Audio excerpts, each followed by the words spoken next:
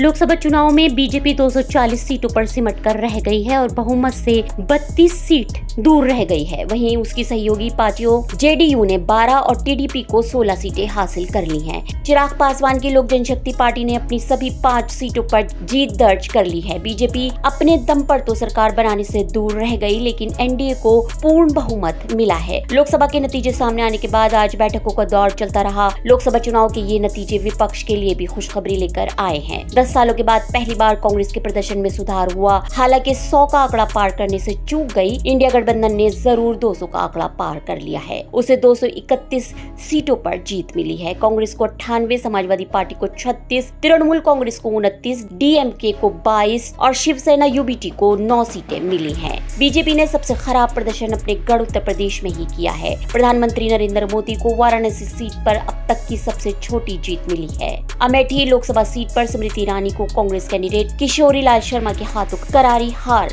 झेलनी पड़ी है। राहुल गांधी ने रायबरेली और वायनाड दोनों ही सीटों पर शानदार जीत दर्ज कर ली है। केंद्रीय गृह मंत्री अमित शाह, मध्य प्रदेश के पूर्व मुख्यमंत्री शिवराज सिंह चौहान जैसे नेताओं ने शानदार जीत दर्ज की है। आपको बता दें कि देश की कुल 543 लोकसभा सीटों के लिए सात चरणों में मतदान कराए गए थे। कुल 8,360 उम्मीदवारों की किस्मत ईवीएम में कैद हो गई थी। अंतिम चरण के मतदान के बाद ज़्यादातर एग्जिट पोल के पूर्वानुमानों में एनडीए गठबंधन को 400 पार के प्रधानमंत्री नरेंद्र मोदी के महत्वाकांक्षी लक्ष्य के करीब दिखाया गया। वहीं इंडिया गठबंधन के लिए 180 सीटों के आंकड़े तक पहुँचने का अनुमान जताया गया था।